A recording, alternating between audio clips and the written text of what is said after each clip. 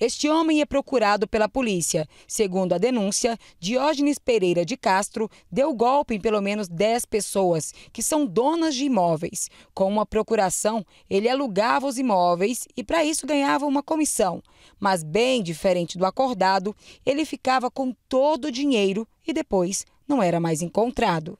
Com fala mansa, bem vestido e educado, Diógenes passou a perna em muita gente. Todas essas pessoas reunidas tiveram um prejuízo de pelo menos 55 mil reais. Ele não foi encontrado no endereço onde mora e nem na casa de parentes. Por isso, teve a prisão preventiva decretada. Há uns três meses, uh, nós tentamos entrar em contato com ele, que não foi realizado o depósito do, do inquilino que nós temos do locatário e nós tentamos entrar em contato e ele falou que ia é, mandar o recibo, que ia mandar um contrato, uma cópia do contrato para a gente.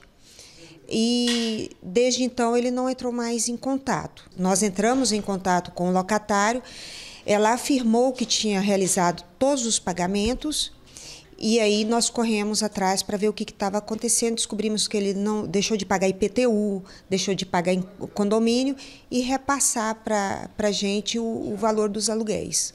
Este aqui é o inquérito que envolve o Diógenes Pereira de Castro e pelo menos 10 vítimas.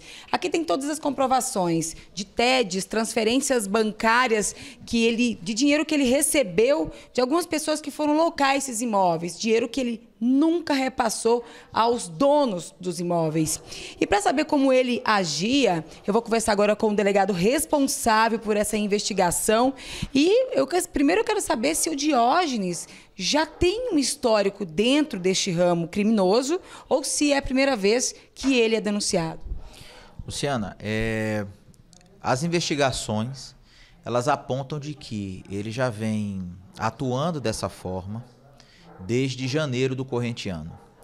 As vítimas, elas firmavam contratos tanto para a locação dos imóveis quanto para a administração é, desses imóveis, né, devidamente locados. Eram utilizados tanto contratos particulares quanto procurações.